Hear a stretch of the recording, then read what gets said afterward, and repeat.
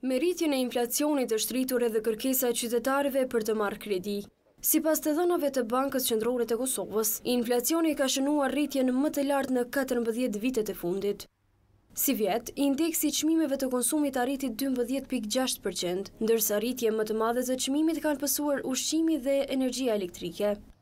Nga ana tjetër, të dhënat e BQK-së tregojnë se nga janari e deri në shtator, janë marrë mbi një milion e katërqind mijë euro kredi, duke çuar vlerën e depozitave në mbi pesë miliardë euro.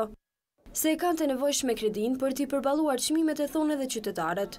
Nëse s'na dhonë qat trustin që po menojmë me marrë tridhjetë për qind do të marrim kredi se deri n'pranverë s'di qysh ja dalim. Tash vyjnë speca, tash vyjnë turshia, vyjnë lakna, vyjnë t'tana, e gjinja s'kanë me i marr, detyrohet me shku me marr kredit. E me marr me kredit me bo në atë turshinë e dimnit, duhet me i ble drutë, drutë shtrejtë. Ndërkaq, nga Oda Ekonomike e Kosovës e kanë kritikuar qeverinë se po ndërmerr masa jo të duhura për përballimin e krizës ekonomike.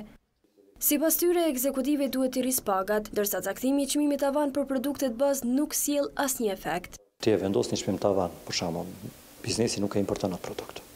Për arsye se asnjë biznes nuk e importon me humbje produktin.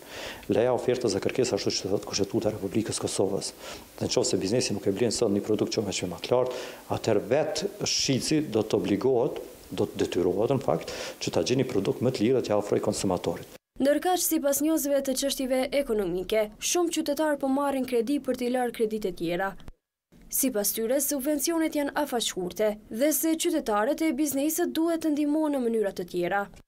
Ato mjete shumë ma do të ishin ma efikase po të blente, do të thotë, artikujt e shportës jetësore qeveria dhe të bënte, do të thotë, rezervat shtetërore, dhe me rezervat shtetërore pastaj do të balansonte të gjitha ato rezerva në treg dhe do ta balansonte ofertën dhe kërkesën.